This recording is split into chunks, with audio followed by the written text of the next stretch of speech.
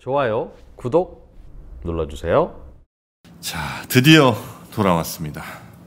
Welcome, welcome back. Welcome back. 우리 네. 양평 현인 증시 각도기 곽상준 부지점장님 어서 오십시오. 네, 안녕하십니까. IRP는 신한금투의 증시 각도기 곽상준 인사드립니다. 오랜만입니다. 네, 잘 쉬다 오셨어요? 네. 사실 뭐 제가 좀 부족하고 모자란 문제 때문에 좀 그냥 쉰 아이, 건데 네. 어, 너무 많은 분들한테 걱정을 끼친 것 같아가지고 네. 여기서 이 자리에서 다시 한번 죄송하다고 다. 다 제가 부족한 탓이 분명합니다. 그래서 그건 너무 죄송하게 생각하고요. 그다음에 아, 너무 보고 싶다는 얘기를 많이 들었어요. 네. 증식 제 그 뭐야 네이버 증시각도의 카페라고 있다고 네네네네. 융단 폭격을 맞았어요. 어, 사람들이 막 너무 막 이렇게 해서 음. 보통은 댓글을 다는데 댓글을 달 수가 없을 정도로 네. 아니 그나저나 뭐 그래서 저 네. 무슨 저 회사나 뭐 이렇게 해가지고 잘 문제 없습니까 이제? 그거는 제가 노 코멘트 하겠습니다. 근데 하여튼 뭐 그래서 하여튼 너무 감사하고 네. 아, 너무 보고 싶단 말을 들어서 이제 제 인생의 애정 운은 끝난 것 같아. 보고 싶단 말 너무 많이 들었어. 실제로 그 제가 이제 기분 꿀꿀할 때 옷을 사거나 넥타이를 사거나 뭐 이런 네. 거 하거든요. 아. 네. 넥타이를 사러 갔는데 Ungaro 매장을 갔어요. 네? Ungaro 매장에 가서 넥타이- Ungaro? 네, Ungaro가 네. 뭐예요? 아 넥타이- Ungaro라고 저 이태리 이태리 이태리 저 패션 어. 브랜드 요즘 잘 프랑스 그거- 프랑스. 프랑스요? 요즘 그거 잘안 하는데 네, 막 찍지 마세요. 아니 그 요즘 잘 안 하는 건데 네. 요즘도 그 운가로를 하나? 네, 그래서 거기 가서 이렇게 샀는데 넥타이를 네. 샀는데 어, 대표님 오더니 어 저 아신다는 거예요. 네. 어, 너무 반갑다고. 하나 공짜로 줬어요? 아 그렇죠. 네. 아 진짜요? 네. 정프로. 선물이라고. 당신하고 나는 그냥 조금 조금 살짝 깎아주는 정도인데 공짜로 주는 경우는 없었잖아. 이런 아이 충성도 로열티는 아 우리 곽동희님 깜짝 깜짝 더 놀랐습니다. 덕분에 네. 진짜 넥타이 하나 잘 어. 이거예요 이거. 근데 어쨌든 또 주말에 그 울산에서 오신 교사분들하고 만나는 기회가 있었어요. 네. 그래서 제 말을 좀 처리해야 될 것 같아요. 제가 공무원, 교사 또 누구라 그랬지? 그안 된다 투자 안 된다 그랬잖아요. ILP. 아니 아, 투자 그 안- 투자 자체가? 투자 투자 자체 음, 하지 네. 말라고 이 사람들은 투자하시면 안 된다고 제가 얘기를 했는데 네. 이것도 좀 수정을 해야 되겠어요. 제가 보니까 결과가 좋진 않더라고요. 근데 공무원 교사 또 뭐 있었는데 네. 법조인이었나? 뭐 기자 정도 될 것 같아요. 군인? 근데 어쨌든 어, 열심히 하시더라고요. 그래서 열심히 하시면 됩니다. 누구나. 음. 예, 그 제한이 따로 있는 건 아니에요. 열심히 하시면 음. 분명히 좋은 결과를 얻으실 수 있습니다. 네. 자 이제 미국 시장 정리해야죠. 네.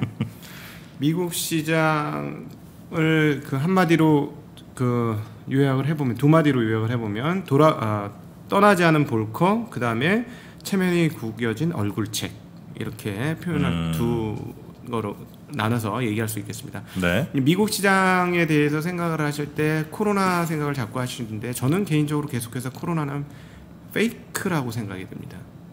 해석하기 아주 좋은 재료이긴 하지만 그것 때문에 빠진 것이냐는 어, 조금 의문입니다. 특별히 지난 주말도 마찬가지인데요. 그러나 물론 확진자가 늘어나고 있기 때문에 악재의 무게추는 점점 더 많이 달리고 있는 거예요. 그래서 이 악재의 무게추가 계속해서 쌓여 나가면 어느 순간에 한꺼번에 시장에 반영될 것이다라는 네. 생각이 들고요. 일단 무게추가 무거워지고 있는 것은 사실입니다. 근데 지난 주말에 그것만으로 해석하기에는 좀 무리가 있었어요. 네. 왜 그러냐면 지난 주말에 시장을 하락시킨 가장 근본적인 핵심 키워드는 기술주들의 하락, 특별히 SNS 기술주의 하락이었습니다. 네. 페이스북이 8%대 하락을 했고요. 그러면 페이스북만 떨어질까요? 같이. 떨어지지. 같이 떨어집니다. SNS 기업들이 같이 떨어지는데 여러분 아시다시피 이것들이 다 그 시가총액 비중이 높은 big tech 기업들이에요. 그러니까 얘네들이 같이 흔들렸기 때문에 지수가 상당히 큰 폭 떨어진 것이고 또 하나 지수 비중이 상당히 높은 쪽이 어디냐? 은행입니다. 네. 은행. 예. 은행도 주가가 상당히 큰폭 올라간 것 이상으로 떨어졌어요. 왜? 스트레스 테스트 했는데 별로 안 좋다며요. 예, 근데 그 기대를 많이 했죠. 스트레스 네. 테스트 하고 나서 이제 우리는 본격적으로 투자은행으로서 이제 어, 사업을 진행할 수 있고 그렇다면 상당히 큰 수익을 낼 수 있다라는 기대감으로 목요일날 올랐던 것인데, 네. 근데 그 자사주 매입 그다음 배당을 더 이상 못하도록 막았잖아요. 그 기존에 했던 것 이상으로는 절대 못하도록 어, 막았습니다. 네. 그래서 이 뉴스가 상당히 큰 뉴스였던 거죠. 사실 18년, 19년도 미국 시장이 그렇게 고공행진을 한데 가장 그 강력한 부스터 역할을 했던 것은 자사주 매입이잖아요. 네. 예, 근데 이 자사주 그 뭐그 뭐야 어, 항공사 어디죠? 보잉, 보잉도 맨날 그 돈만 생기면 자사주 산 거 아닙니까? 그렇죠. 그러니까 여기서 이제 한국 기업들하고 미국 기업들하고의 근본적인 차이가 있어요. 그러니까 미국 기업들은 일생일대 과제 중에 하나가 주가를 올리는 거예요. 어떻게 하면 주가를 올릴까가 그 가장 중 왜냐하면 주가가 올라오면 할 수 있는 방법들이 여러 가지 그렇지. 생존할 수 있는 뭐 예를 들어 자산을 조달한다거나 뭐 어, 다른 거를 한다던가 할 수 있는 게 너무 많으니까 투자를 할수 투자. 예. 여기 여기에 진짜 모든 에너지와 역량을 다 집중하는 경향들이 분명히 있습니다. 그러니까 한국하고는 전혀 좀 달라요. 한국 같은 경우는 상속을 하기 위해서 주가가 안 오르기를 주- 대주주가 바라는 이런 상황들도 꽤 있지 않습니까? 그렇죠? 주가가 올라가는 게 하나도 하등 나는 반가울 게 없어. 뭐 이런 경우도 있잖아요. 그리고 물론- IR이 불친절하기도 하고 그렇죠. 아니 근데 어쨌든 이, 하, 이 흐름들이 이제 네. 바뀔 것이다라고 저는 생각은 아유, 들긴 저- 하는데 예, 예. 바뀔 거다 이렇게 생각은 하고 있는데 어찌 되었건 어, 어 어쨌든 그 미국은 그렇습니다. 그러다 보니까 이 부분들을 딱 거세한 거잖아요 지금 음, 어, 일정 기간이긴 하지만 네. 예, 거세를 하다 보니까 실망 매물이 확 쏟아진 거예요. 그래서 목요일 날 올라간 것 이상으로 빠지는 은행주들이 그런 흐름을 보여줬습니다. 그러니까 이 두 축들이 빠진 거예요. 빅테크 기업들이 빠졌고 은행주들이 빠지니 지수가 오를 턱이 없는 거죠. 네. 근데 이제 여기서 우리가 한번 생각해봐야 될 부분 포인트 중에 하나는 어 뭐 그냥 어, 그러려니 이 정도면 이 정도 빠지는 거 당연하지 하고 넘어갈 수가 있는데 하나 하나 어, 고민을 하기 어, 염, 염두를 해야 되는 상황은 뭐냐면 이게 이제 페이스북 발로 일파만파로 퍼질 거냐 말 거냐 안 그래도 좀 지탱하기가 이거 가격이 너무 높은 거 아니야 이런 생각을 네. 계속 하고 있었잖아요 근데 사실은 우리가 이제 지난번에도 블랙스완을 한번 3월달에 당해봤으니 네. 블랙스완이라는 게 뭐 별거 아니네라고 생각했는데 나중에 크게 돼서 문제가 되는 거였으니 이 페이스북을 시작으로 밑에 밑에롭게 쌓아 올렸던 성들이 흔들리기 시작해서 다른 쪽으로 넘어가면 어, 이게 단초가 된다면 좀 문제가 되겠죠. 그러나 현재까지 그 가능성을 높게 판단하기에는 이르다. 네. 그거는 그러니까 어, 이렇게까지 생각하는 건 뭐냐면 우리가 아직도 어, 뭐죠? 그 부정적인 심리에 쩔어 있기 때문에 그렇다. 여전히 코로나에서 만, 마음은 완전히 심리는 해방되지 못했기 때문에 그렇다. 음. 예. 뽕을 여러 개 맞았지만 그 뽕이 아니고 뭐죠? 스테로이드를 여러 방 맞긴 해서 했지만 예, 아직까지도 완전히 강세장 마인드로는 우리가 못 가고 있는 거다라고 보시면 되겠어요. 근데 미국은 좀 달- 달라, 다른 것 같아요. 미국은 강세장 마인드 가 바로 효과를 발휘하면서 그 주사약들이 효과를 발휘하면서 바로 간 것이고 네. 우리는 그러지 못한 상황입니다. 그래서 우리나라하고 그거 좀 차이가 있는데 네. 미국의 약제는 한국 사람들은 미국의 약제를 한국의 약제보다 더 심하게 쭉쭉 끌어다니는 그런 흐름들이 있어요. 아마 어, 제 생각에는 언제 이것들이 해소가 될 거냐면 떨어진 다음에 얼마 안 떨어지고 바로 반등하고 얼마 안 떨어지고 바로 반등하면서 상승 추세를 이어가면 어, 그때면 심리가 이제 강세 심리로 전환이 되면서 하락을 두려워하지 않는 그런 흐름들이 오지 않을까. 그러면 그때부터는 진짜 위험이 오기 시작한다. 네. 뭐 이렇게 정리를 해볼 수 있을 것 같습니다.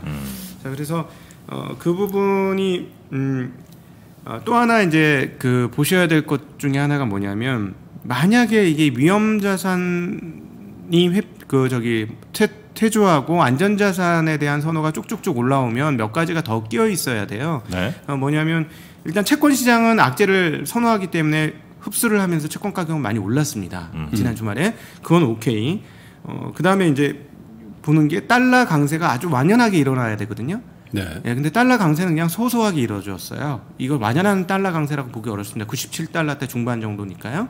어, 그렇게 볼 수 있겠고 또 하나는 이제 그럼 유가나 이런 것들이 엄청나게 많이 떨어져야 되죠. 어, 어떤 거냐면 여기서 하강할 거라고 생각하면 경기가 여기서 더 떨어질 거라고 예상해야 되기 때문에 유가도 상당히 많이 떨어져야 돼요. 근데 유가는 떨어지긴 떨어졌습니다만 38달러 대.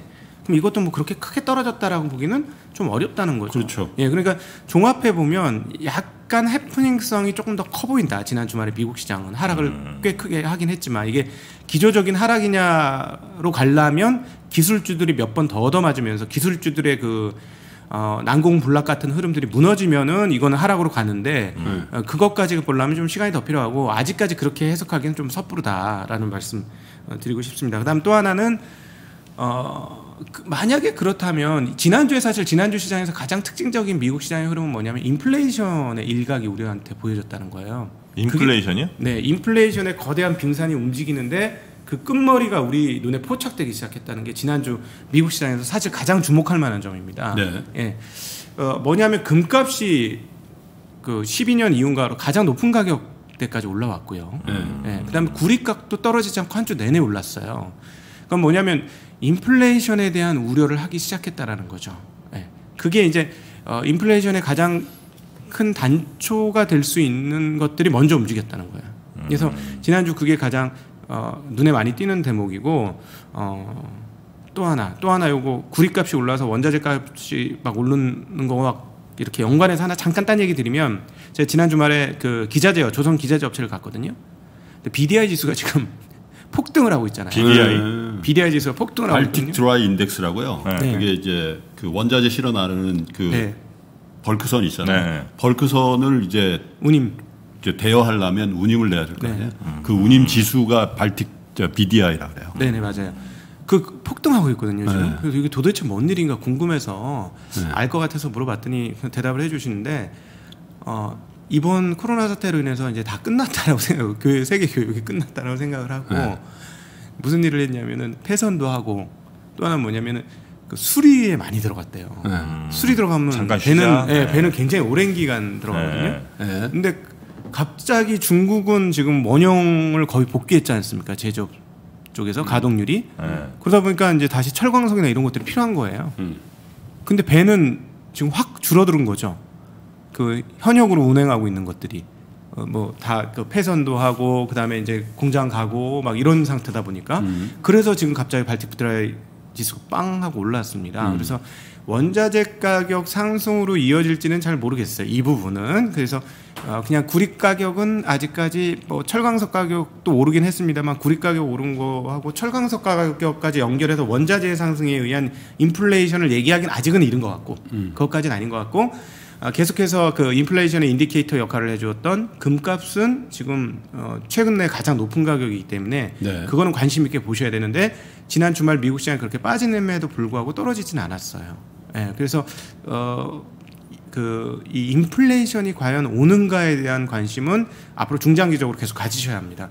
그 워렌 버핏이 뭐라고 했냐면 인플레이션에 대해서 86년도 그 저기 토크할 때 뭐라고 했냐면 이거는 경제적인 게 아니고 정치적인 거다. 네. 어, 정치적인 건데 왜 정치적인 거냐면 그 집권자들이 통화를 많이 찍어내려고 마음 먹고 통화를 찍어내면 당시에는 어떨지 모르겠지만 한 2년 정도 지나면 인플레이션 반드시 오게 돼 있다. 네. 그래서 이건 경제적인 문제가 아니고 정치적인 문제다라고 얘기했는데요. 네. 지금 전 세계적으로 따져보면 딱 그렇잖아요. 그쵸?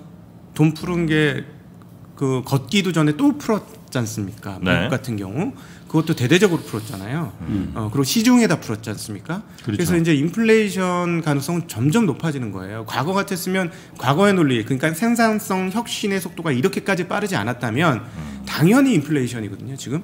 어, 근데 그 생산성 혁신 속도가 너무 빠르기 때문에 인플레이션을 좀 브레이크를 한 거는 그런 개념이 있는 건데 어찌되었거나 이 정도의 양이면 인플레이션에 대해서 생각해야 되고 그렇다면 우리가 고민이 되는 뭐- 부분은 뭐냐면 투자자 입장에서는 지수는 과열인 것 같은데 돈의 양을 많아서 많아져 가지고 돈의 양이 많아져서 도대체 어디쯤이 과열이라고 얘기해야 되는가에 대한 혼돈이 생긴다는 거죠. 네. 돈 양이 많아졌으니까 당연히 그 돈의 돈의 양이 많아졌으니까 표시 가격도 당연히 늘어나는 거 아니에요. 기초 자산의 표시 가격들이, 음. 예. 금융 자산의 표시 가격들. 그러니까 돈 가치는 떨어지고. 그렇죠. 네. 그거죠. 그러니까 그건데 제가 너무 어렵게 얘기하나요? 네. 어쨌든 그렇게 늘어나게 되는데 음. 아, 그러면 과연 이걸 어느 위치 정도로 봐야 될 것인가 하는 투자의 고민이 좀 있는 거예요. 네. 지금. 네. 그래서 그 부분은 어, 그렇게 보시면서 시장을 보셨으면 좋겠고 어, 그다음에 이제 그 앞서 자동차 얘기를 많이 하셨으니까 자동차 관련해서 기술적인 뉴스가 있어서 그것까지 하나 하고 마치도록 하겠습니다. 지수는 좀 띄워 주시나요? 지수는 좀 네, 띄워 주세요. 띄워주세요. 아, 지금 읽을 네. 시간 없을 것 같아. 아, 기술주들 주가 흐름만 조금 보시면 많이 빠졌죠?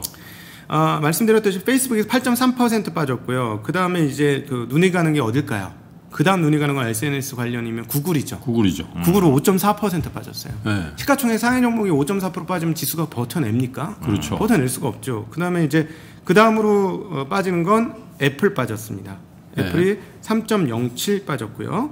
어, 넷플릭스도 4.8% 빠졌어요. 그러니까 약간 넷플릭스는 좀 억울할 것 같은데. 뭐 넷플릭스는 수- 광고 모델도 아닌데. 어 그럴 수도 있죠. 아마존은 조금 덜 빠졌고 2.2%. 네. 네, 그렇게 빠졌고 마이크로소프트도 2% 빠졌으니까 덜 빠졌고. 음. 어 그다음 은행주 웰스파고 7.4, JP모건 5.4, 씨티 5.8. 그다음에 뱅크 오브 아메리카 6.3 이렇게 거덜이 났는데 주가가 건들 수가 있겠습니까? 그러네요. 그러니까 오히려 어, 미국 시장 보고 아이고 이거 올공 왔나 이거 큰일 났네 아이고 나 현금 하나도 없는데 주식밖에 없는데 마- 망했다 아이고 또 망조나네 막 이런 생각하실 수가 있는데 지난 주말 미국 시장은 약간 좀 특별했다라는 거예요. 예. 그러니까 볼커 룰 완화에 대한 기대감이 사그라졌기 때문에 큰 폭으로 하락했고 한쪽 축에서 예. 또 하나 그 회복 아, 얘기하셨죠 페북 네, 얘기. 했어요. 광고 광고 빠지는 거. 저거 저거 저기 뭐야 트럼프가 이렇게 얘기했잖아요. 약탈이 있는 곳에 충성이 있다. 아, 예, 그런 거는 그런 정말- 거는 좀 해줘야지 페북에서도. 아 정말 너무 조치를. 아 그러니까 아, 네, 말이 안 나오더라고요. 저는 그거 듣고 정말 미친 거 아닌가 싶고 네. 진짜 답답했는데 하- 하여튼 뭐 아주 또 백악관에 전화 온대. 근데 그 보낸 백악관에서 그 두 그 두 축이 무너졌기 때문에 시장이 많이 빠진 거라 그냥 뭐 지수가 빠진 거라고 보기엔 약간 좀 다릅니다. 그래서 여기서 초점은 기술주들의 파급 영향이 어디까지 갈 거냐가 초, 초점이에요. 지난 주말 미국 시장 마감하고 나서는 네. 이번 주 들어와서 그래서 그거 그게 그냥 빠르게 마무리되면 괜찮은데 빠르게, 빠르게 마무리 안 되면 좀 더 빠지겠죠. 그래서 걱정하는 건 그게 이제 빌미가 되어 그 뚱뚱 그더 커질까 하는데 죽수 얘기를 드리려고 했어요. 빨리 이거는, 해요 그럼. 아, 다음에 하도록 하겠습니다. 아 이제 갓동 있는 사람입니다. 4.99을 들어와서 빨리 해. 감사합니다. 알겠습니다. 오늘 함께 해 주신 오랜만에 돌아오신 증시각도기 곽상준 부지점장님 너무 반가웠습니다. 네, 고맙습니다. 내일 네. 볼게요.